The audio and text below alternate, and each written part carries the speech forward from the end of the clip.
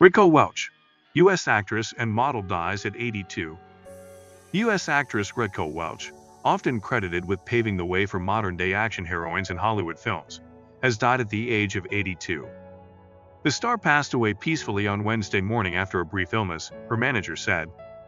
Welch became international sex symbol in the 1960s, widely remembered for playing a bikini-clad cavewoman in the 1966 film One Million Years BC.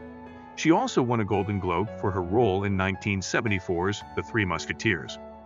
Born Jo Raquel Tejada in 1940, Welch grew up in California, where she won teen beauty pageants and later became a local weather forecaster.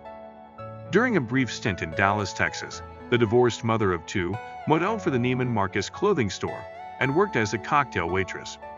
Her big break came in 1964, soon after she moved back to California, when she scored cameos in A House Is Not a Home and Roustabout, a musical starring Elvis Presley.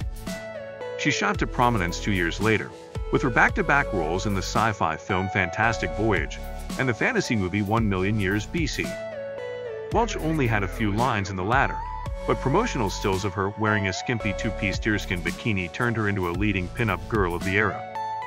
Despite her public image, however, she long expressed discomfort with the representation of her body, once saying she was not brought up to be a sex symbol, nor is it in my nature to be one. The fact that I became one is probably the loveliest, most glamorous, and fortunate misunderstanding, she added. Welch went on to address her image in her memoir, Raquel, Beyond the Cleavage, in which she opened up about her childhood, her early career woes as a single mother in Hollywood, and why she would never lie about her age. In a career spanning over five decades, Welch appeared in more than 30 movies and 50 television shows.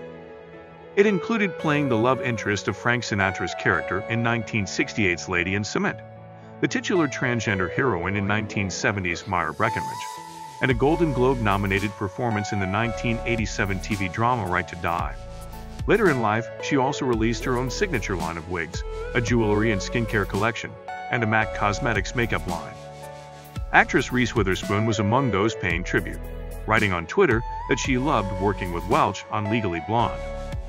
She was elegant, professional, and glamorous beyond belief, said Witherspoon, simply stunning. Actress and producer Viola Davis posted a clip of her singing I'm a Woman with Cher in 1975, writing, You were ageless to me, iconic. In 1978, she sang the same song with the famous puppet Miss Piggy, earning a tribute on Wednesday from the beloved comedy program. We'll never forget our remarkable friend Raquel Welch, one of our favorite guests on The Muppet Show, the Disney series tweeted. Actor Paul Feig said he enjoyed working with her on TV series Sabrina the Teenage Witch. Kind, funny, and a true superstar, whom I was pretty much in love with for most of my childhood, he wrote, adding, We've lost a true icon. She leaves behind a son, Damon Welch, and daughter, Latanne Tahnee Welch, who is also an actress. Thanks for watching this video. We will always remember the Rocco Welch in good memories. Make sure to hit the like button and subscribe to our channel so you never miss any of our video. We'll see you in the next video.